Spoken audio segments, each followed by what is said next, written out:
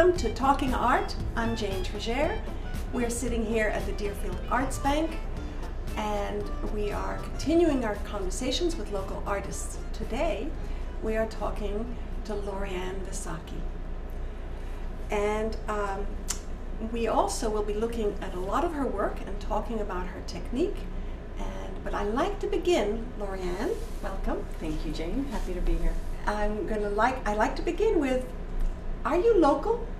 I am. I'm from Hadley, Massachusetts. Oh my goodness, I'm shocked. we, you know, many people move here, so you've just been here and stayed here. No, I spent 20 years in New York City after college, Uh-huh. but I have returned. Uh-huh. And were you in New York City doing art? I was. I, I certainly But you were acting too, no? Uh, a very short-lived career acting. Short-lived career acting. hmm I had many jobs, many hats. Many hats.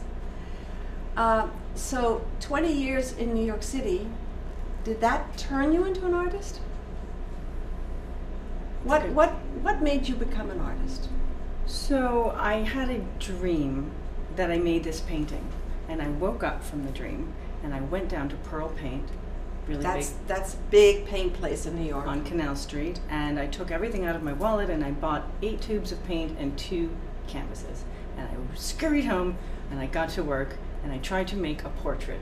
Started right in there with the portrait. No, I didn't have any. Based any- on the dream? based on the dream, and it didn't meet my expectations. I was expecting a masterpiece. Uh huh. So I turned it towards the wall and I studied acting and didn't paint again for quite some time. Mm. And then one night, I turned that painting back around and I spray painted it, and it started to come alive. And I took the remaining tubes and I got very expressive with As it. As a portrait? I changed the portrait. Oh, Yeah. it was no longer a portrait. No, we broke up, so it was. oh, oh, I see, I see, I see. Sorry, I didn't mean to. No, and it became personal. an abstract expressionist piece. Uh huh. And Is it here? No, it is not. it's not here, okay.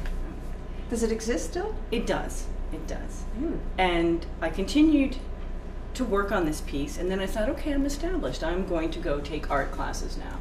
And I went to the Art Students League, and You didn't start at the bottom. You started right at the top. with Bruce Dorfman, a very famous painter who's on his 50th year celebrating teaching at the Art Students League. He's in museums and galleries around the world. But this was a little while ago. This I'm was- not asking your age, but it wasn't. It wasn't two weeks Yeah. ago. No, this was almost 30 years ago. Uh huh. And the, for the audition, you had to bring in two pieces, but I only had the one. Oh my goodness. So I quickly worked on the other, and I went down and I put them up on the easels in front of Bruce, and he looked at them, and he liked them, and he said to me, Laurieanne, you make consistent choices in your work. And I liked that, and he said, I'd be happy to have you in my class. How interesting. Wow, that's the that's the uh, follow through of your convictions and a little daring, more than a little daring, I think. Well, Yeah. They were interesting pieces, let's put it that way. I didn't Uh-huh. get much done in his class. I just continued to work on that second piece that I brought in. Um, and I didn't, I only stayed one semester. Oh, I thought that was enough. I, I had, yeah, yeah. Oh, that's got it. I, I Yeah, got it. I got, got it. Oh, good. well, you're a brave person. So, so, is there something here? Are we are we going to work in chronological order? For instance, when did this triptych come along? This is something that I worked on. I started perhaps five or six years ago in the winter. It's a very large piece. It's about 10 feet long and 5 feet wide. It is a triptych, so there's three pieces, and I started on the one in the middle. And I was going through dental surgery, so if you look closely, you'll see tiny little teeth throughout it. Uh huh. Well, we only have one piece um, um, here, but on the image, everybody will get to see all three, because they're Laurieanne works in very large sizes. So um, dental. Yes, but it, it's really under the title of the piece is underground, and it's my idea of what it looks like if you slice Earth. Earth five feet down. This is what it's going to look like. There's stones and rocks. There's some trickling of All water. orange? It's burnt sienna. I like. I wanted to use a warm palette, Hmm. and there's some white rocks on the top to show the top layer, and then you slice through and you get the. Were you in New York when you did this? no, I did this in my house. I didn't have an art studio yet. He, here in, in Uh, uh, I live on Lake Wyola in Shutesbury. oh, very nice. So I destroyed one of the rooms in the house by making this. Uh huh. Paints everywhere, paint all over the floor. It took the entire winter, and that's all I focused on. So that's one of my older pieces from being in this area. Is it, is it, um, does it hang so, normally someplace? It is in the cathedral ceiling. It's big, so and it, In your house? In my house, and it Mhm. commands a view. And so this is acrylic. yes, So tell us why why you went to pearl paint. Did, did- are you just you started with acrylic, so you stayed with acrylic, or is there something you liked particularly about acrylic?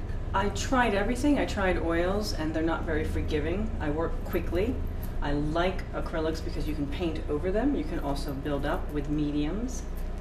Mm, you can stick things into it, and it holds on to the paper or the coffee grounds. I love to build up texture, and you can work with acrylics that way. Coffee grounds I add coffee grounds, sand, scraps of paper, anything I can find into the to paint. the paint. Mhm. And is this is it, it, This piece has some texture. some texture? No teeth. No teeth.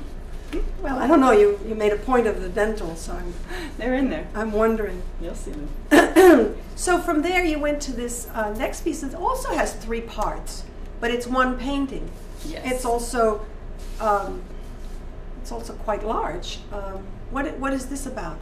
This is called Three Brothers, Ah, I see. and it was a commission piece. Uh, the man in the middle came to me and said he wanted to do something uh, as a tribute to his two brothers that he was very close to, and he had a big flat in San Francisco, a, uh, out of a warehouse of cement dark wall. He wanted a lot of color. So I knew the, th- the three of them, and they are all engineers. So I, inside of their bodies, I tried to make it look like there are gadgets and gears and all the things that would an engineer would need in his kit. And took their faces. So it, it's obvious when you look at this, and anybody in their family looks at this, they they immediately see the brothers and know which one's which. They know which one's which. Absolutely. But there's only one painting, so it sits in one of the brothers' Right. houses. The Right. ones who commissioned, the one who commissioned. They fight it. over it, but he bought it. I see. I see. Well, he commissioned it, so he gets it. Oh, well, this is impressive. That's that's is that early early on in your career? no, Okay, it's a few So- years ago. A few years ago. Okay. So one of the things I, if if an artist will allow me, is to ask, what is the struggle, the economic struggle? I mean, does one survive on one's art, or can one? Or if not, what do you do? to, Well- to make I mean we've had people here who are accountants and and teachers and lots of different things. It it, it may not matter, but you know, are, are you getting to a point where you can you can make a living from your art? I am getting to that point, and I hope that end point is someday very soon. it happens quickly. Uh, I'm. I've been very patient. I do have other jobs, uh, but I am also currently selling and exhibiting locally, and doing uh, commissions for people who have seen my work and say, "Oh, okay, you do my cat. Oh, I have a bison farm. Can you paint some buffalo for me?" okay, well that takes us to the Oh, next one, oh, right? Good, good segue. I think that must be why. And and and uh, did they also want a colorful painting because this is a blue bison? They left it up to me. Uh-huh. Actually, they they didn't know they were getting a couple of paintings. I just went into their space and saw empty white walls and went home and did it, and then brought them in and they loved them. and they bought them. They did not. Oh, No, they hung there for free, and then they went out of business. So, do you want them? it's four by five. It's not as big as the other ones. It's it's gorgeous. And so this is not an engineer. So what did you decide to do here? There's a stained glass quality to it. Tell me about that. I enjoy when I'm painting. Uh, I sort of draw the figure first in ink, and then I apply a few light washes. What really intrigues me is the small detailed work. So I work a piece at a time. I work on the rump, and then I'm on the belly, and then I'm on the face, and then I bring all the colors together. But I like making very Klimt-esque squares and circles, and that gives me the depth that I'm looking for. So do you start uh, with a base of a, ba- a color and then work out of it, Sometimes a light, in this or you're case, putting it together like a mosaic? Is That- it like a mosaic? Certainly, certainly. I, as I work piece by piece, and as they, the pieces begin to spread out, I could see this translated as a beautiful window. quite colorful. What is the what is the material that you're work, paint, painting onto? That's canvas, and I okay, stretch so they're my not own canvas. so they're not so heavy. no, and that's a poplar frame, a handmade frame with tightly stretched canvas. It's very lightweight for its for its size. Uh huh. So, um, uh, some of the, I'd, I'd like to point out this piece back here because I think it sort of fits in to this category in an odd way. This is also kaleidoscopic, um, but it's not quite the stained glass window we had effect. What is going on here? What is this? Because it looks like a collage. I'm not quite sure. It is a collage. Good And. I'm looking, you know, it's something is stuck onto something here. So this is MDF board, not canvas. It's, this is my very first attempt at this style. It's a poured acrylic medium. Now, what is that? When you work with acrylics, there are a lot of products on the market to mix into the acrylic paint. To get it- Besides coffee grounds? Yes. to make it thicker or more translucent or uh, everything that you need, it's on the market. So, what I've done, well, let me back up. How did this happen? This is a happy accident. When you paint, you squirt out all your paints on a palette, and that eventually dries. And you can pick it up with a razor blade and peel it off, and you've got an acrylic skin. Oh. So I had been I've been collecting those over the years and throwing them in onto a tray. They will stick together. You have to put paper in between wax paper. Then I got the idea, well, why not do it intentionally? This has been a happy accident, but Oh. let's manipulate it. So what I've done is pour out some acrylic medium, squirt a lot of paint into it, and pick up I work on glass or plastic and manipulate it and move it around and then let it sit for a few days. Peel it off and start a piece. There are over 100 pieces in this. The, the, the direction that I then go in is to integrate it together by painting on top of it to make it look as if it's almost one piece. Oh, so you've painted on top of this. The dark lines, the the, dark shadows. lines. Oh, it's marvelous. And It's it's, got a lot of movement to it. Again, it's Absolutely. underground molten lava. I'm not quite sure. It's it's it's got, looks like a sea creature. I'm not sure. But I it doesn't. It doing doesn't it. have. Yes. No. No. No. this is this is wonderful. So, so with that, let's move on to this other technique. And this one here, we have some of it behind us, and uh, some of it here in front of us. Um, and you're working on. Well, these are the largest ones I see here, but the small pieces that we have are meant to be for want of a better word, collaged together or hung together. Is that correct? Yes. So these squares that we have here, and we have one on the screen, I think it's red, um, but you have them in different colors, and one behind you, which is a teal color. Tell me what's going on with these. They'll ultimately all go together in this uh, multi 20 uh, piece uh, panel, which I think will go up on the screen so you can see. But meantime, let's go back and tell us how you create this. So this again is MDF board, three quarter inch. MDF board is composite, and I work with joint compound. This is stucco.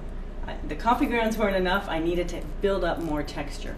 So I do a layer of stucco on it, and then I carve in and imprint either with a stencil, a Lego, a coffee cup, a saucer, a, Or a leaf. a leaf, a Are those, doily. are those are those imprinted with real leaves? Some of them are real, and some of them I've etched in on my Mhm. own, and add the vines and let it dry. Then I varnish it because I'm about to add paint and I need to have uh, it. A non-porous surface?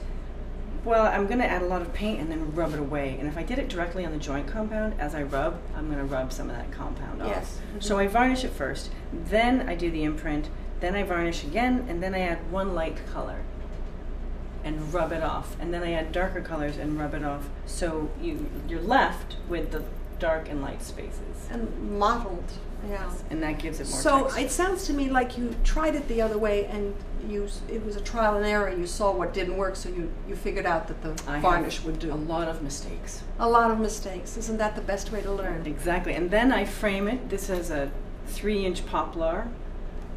Nice piece of wood. Keep it sturdy and keyhole the back of it and hang 20 of them together. I'm never satisfied with one or two. I, I love three. Six is preferred. Nine really makes me happy. And 12, 12, well, you're hitting the roof. yeah. Mm. So this is part of a 20 uh, panel installation. And in this 20 panel installation, which we're sh- we don't have here, but we're showing on the screen, each panel or is a different color, but also different leaves, different. Uh, This one has- Are they all vegetation? They're all leaves, a flor- uh, floral motif, and but I don't just stick to that. I have uh, other. Well, here we have something else. Right behind you is this diptych. Um, and you have these. I think this goes with this. Yes. Could, what, could you explain what you've done so here? behind me is again MDF board. It's the stucco treatment, as I just referred to, but differently. Uh, what I'm doing differently is taking these Iranian batik wood blocks. These I found at a tag sale, and At a tag sale. and I I never see things like this at tag you sales. have to look. they were made to do batiking spreads. I don't even know how to batik, but what I do is put a lot of water on them, dip them, uh, make the surface of the joint compound, and then press in.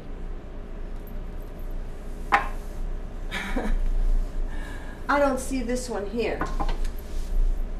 No. No. Okay. Right. And in this, I have one that's very, they're from Iran, so this is very Persian looking uh, type of print. And I went so far as to look up some Farsi and etched it in. I found a, a romantic poem, I can't remember what it is, but I, I scrawled it in with the head of a nail. And the colors, though, are really very special. So here you're playing after you've done your mm, your texturing. Can I call it texturing? Then you're free to start playing with the colors. And this teal and orange and yellow. uh, You have a very strong palette. You would start with the yellow first and then Mhm. wipe it off. You wouldn't start with a dark color because you can't add the light onto it. And then I would add the orange and the red and wipe it off. This was all yellow once. This was I- I all see. red once. Mhm. But I have to remove color. As much as I apply, I remove A- and then your last colors are the the dark. And if I wanted this to even pop more, I'd have a, add a burnt sienna to give it a lot of detail, depth. Oh, it would and catch all the edges. Yes. Uh huh. So these are magnificent. Thank you. Yes. Which now takes us to, um, so these are the pieces that we have here. These are about 12 by 12, I'd say, and and, and they're architectural. What what is this? Um, it's a, the same technique as the relief. Yes. But from my, I travel a lot, and I went to Pompeii a couple of times actually, and I was impressed by the remaining frescoes and mosaics and the paints, the paintings on the walls. And I loved the ochre, the pumpkin, the deep red color, and I decided to try to make it look like Pompeii on these panels. Try to make doors and frames and uh, facades So now this is freehand drawing. there's All still some tricks where I, you can see Legos pressed into one of them, Oh. Uh huh. Lego bricks. But then I uh, scroll scroll around the door and add what I saw in Pompeii, the images of a palm tree something circular was above the door. It had the person's name or their business, but it's all faded and destroyed. So I didn't want to make it too obvious, and I used this, the exact colors that I was seeing. That you were seeing. So we're looking at the colors that you saw. Correct. And, and the intention is how many pieces are there in this? This is a series of twelve, and you could And you can hang them on the wall. Is that the yes, intent? they're lightweight. You Just Uh huh.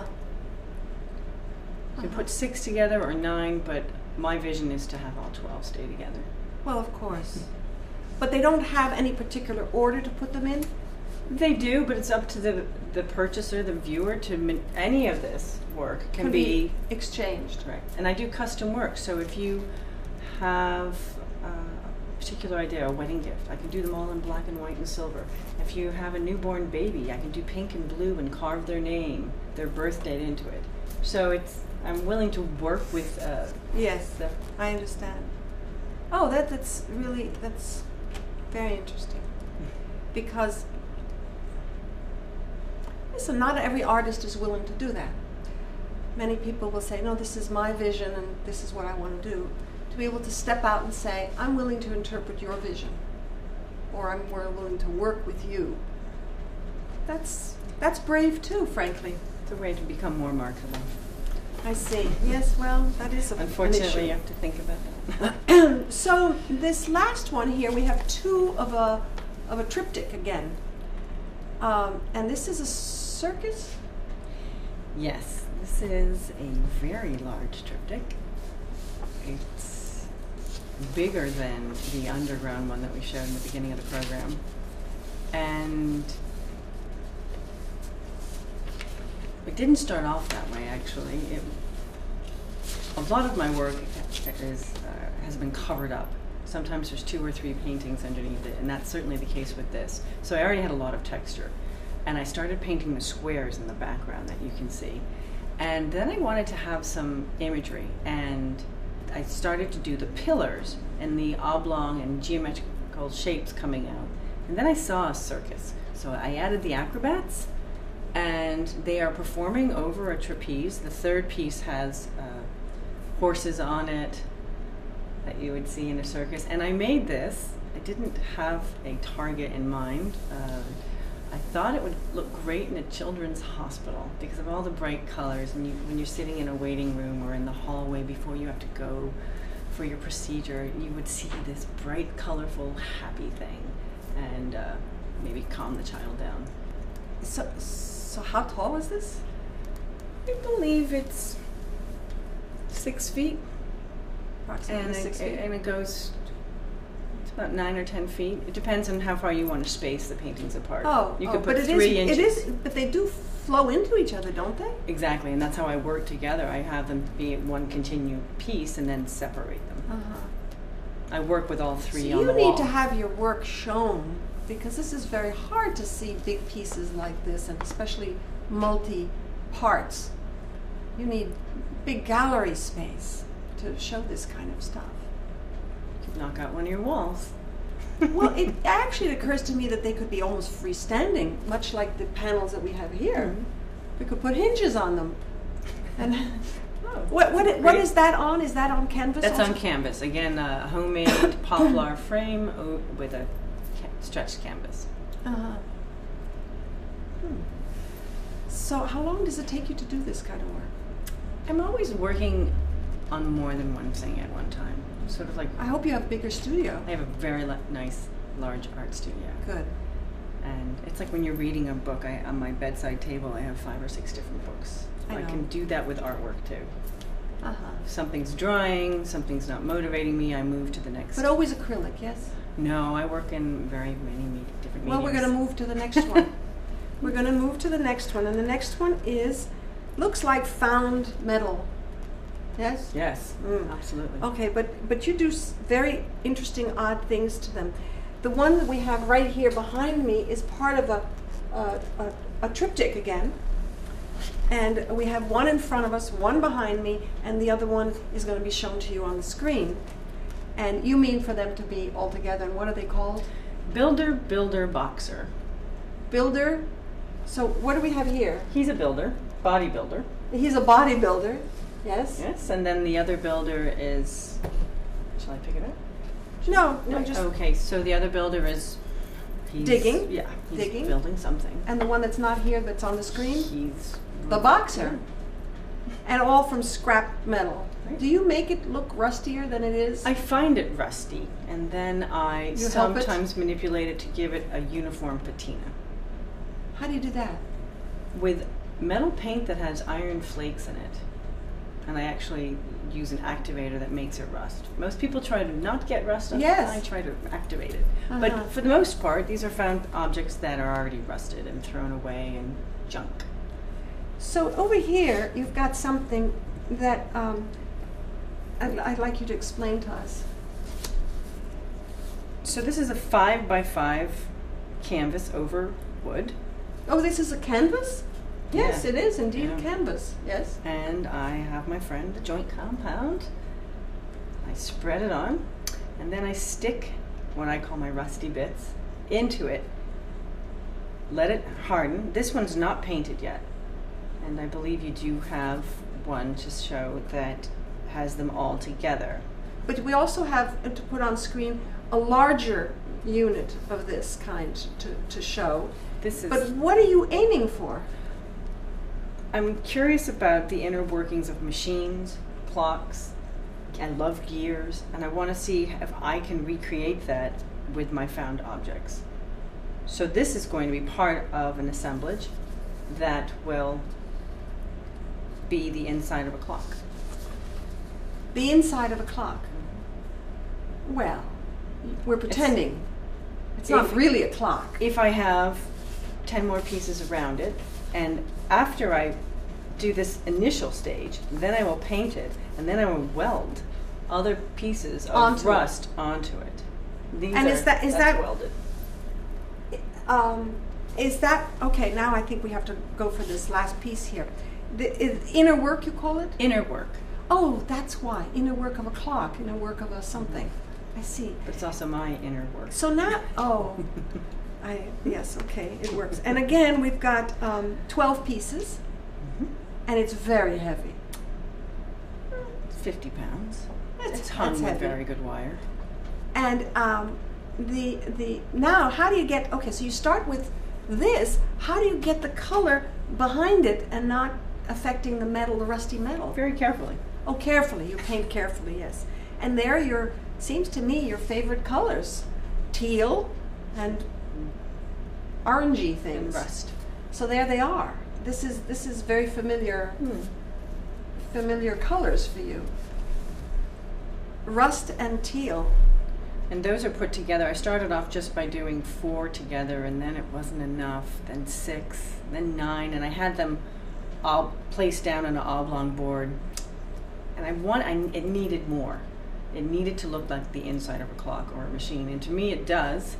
Uh, I put the different colors on. I use a interference with my paint, which affects the light so it becomes more luminescent behind it. So then you have this old What, what is rusty it? What stuff. is an interference? It's a medium that I oh, add another to my paint. Yes, Another. Where does one find these things? art stores. So around here? sure. Where would or, you fi- or I buy online. Uh huh. But I go to Michael's a lot. They have a very good paint department. And does the uh, the guild in Northampton? Sure, I've been there as well. They have this kind of stuff. Yes, they do. Oh, okay. So we can we can imitate. We can understand what you're doing and then try our own versions of it. Yes. Sure. But I don't But think I could do this. This is wonderful. You need to also learn how to weld, which Oh, oh, welding. I don't know how to do that. But you know, I quite like the piece that is um, all white as well. I find it appealing in a com- in a completely different way.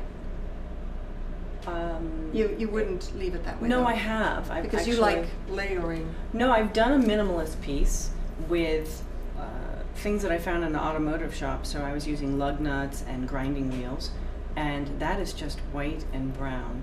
It's Uh-huh. called gracefully masculine, and it's. I think it might appeal to a- male buyer because it's Gracefully masculine. Exactly, not so colorful. Well, these are gracefully masculine. yes, they are. yes. Um, but I think what you were looking at is an un, is the stage of these Right. before I actually right. color them. Right. Well, um, you've covered a lot of ground, and the work is magnificent. And, and I, I really admire your bravery. That's what I come away with. Your, your, your willingness to try things and to be very self confident that it, it will work. I am actually quite, quite blown away by that, starting from your beginnings with that uh, shopping spree at, uh, at the paint store. And I'm sorry that that first painting was not a success, but I think it led to a lot of beautiful, beautiful work and very large work, and it's a, a pleasure to have it here and to be able to show it to people. Thank you so much, Jane. It's been really nice talking with you. Um, we have been interviewing Laurieanne Wysocki, and her work has been um, the, the, the topic of our last half hour. I invite you to let me know if there are questions that I'm not asking of the artists that you would like me to ask. And I'll see you next week. This is Jane Trigère. This is Talking Art. We're at the Deerfield Arts Bank, and next week we'll be speaking with someone else. Thank you.